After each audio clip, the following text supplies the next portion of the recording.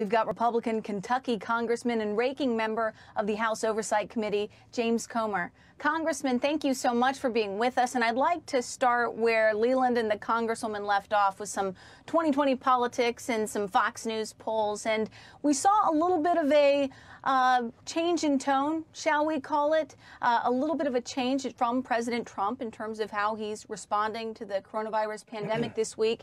And you're a Trump campaign surrogate. I'm curious uh, if polls polls like that are part of the reason why. Well, I think uh, I will agree for once with Congresswoman Dingell.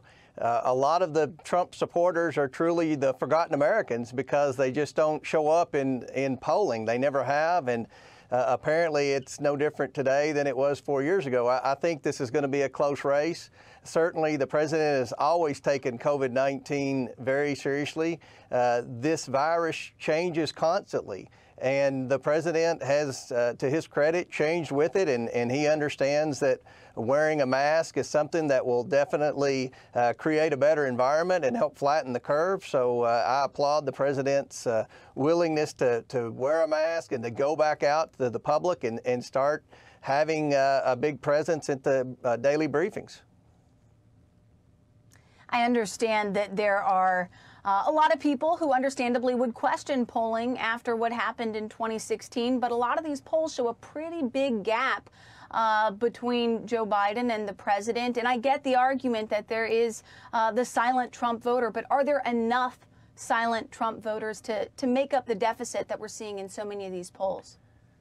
Well, we're certainly going to find out in 100 days, but I think that uh, if there are any undecided voters out there.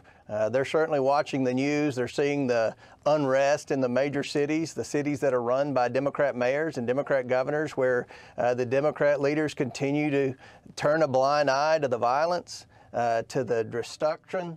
Uh, they they uh, are not taking the side of the law and order. They're they're they've turned their back on the police.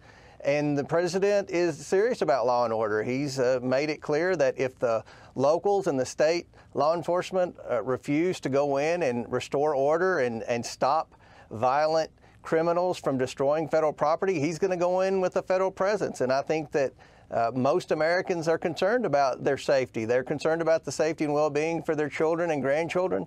They see the difference in uh, the mindset with respect to the rule of law between Democrats and Republicans. And I think over the next 100 days, undecided voters are going to be focused on who is the best person to lead our country through these uh, uh challenging times of unrest and a challenging economy. And I think they're going to go with Donald Trump in the very end.